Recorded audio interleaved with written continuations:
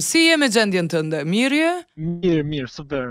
Shyqyr, nuk e pas asnjë simptom, donjë kollë, ja, frymëmarrje, ja, pe, jo. Prej diellës se jam këtu kurgjo, mirë. As temperaturë? Ja, ja, kurgjo. Po çka po, po merr? Po sa me shku vetizolim në shpi. Mirë, e ka pas shumë diskutime për lëvizjet e tuja. Ti ke shku, ke shit fidane? Po për momentin jam qenë në Ngrushit domethënë, taman i këna qenë, mo i kena ja bajt fidanet, ka na policia në atë moment. Po, a, a, ndërkohë, a e ke pas dikon' me pozitiv në familje? Ja, s'kena ditë sen. Ju s'e keni pas kërkon në familje me pozitiv? Ja, ja. Jo, s'ke ditë kurgjo?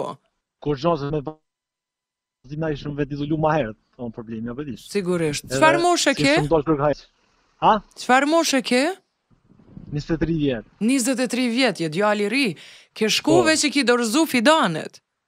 Po, i kena dorëzu ato fidanet edhe taman nisëm me mshelë kamionin na erdh policia, në atë moment. Edhe ju kanë arrestu? Na kanë çu në stacion Malishevë. Pirovicë në Malishevë. Malisheva na ka dërgu në burg. Ja, ka një 48 orë. Në Gjakovë?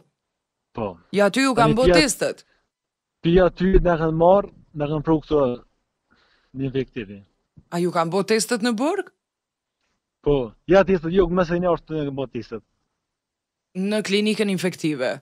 Po. Po ju jeni vetëm në familje apo keni edhe anëtarë tjetër që janë prek? Unë e baba, ne kam gjyshën, mixha këtu është në infektive. Ju jeni familje e kryetarit të Malishevës? Katunarë të po, jena. Kushëri, po. Mirë, si janë anëtarët tjerë të familjes? Mirë, Janë me shëndet mirë.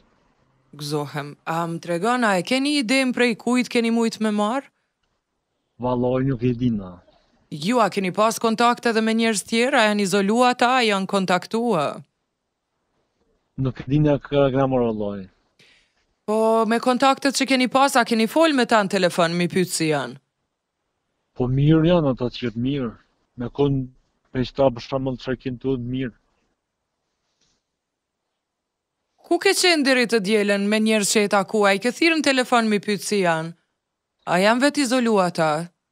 Për momentin telefonin s'e kam temin hiq okay. po më kanë thirrë po mirë thojnë të izolum jan krejt mirë.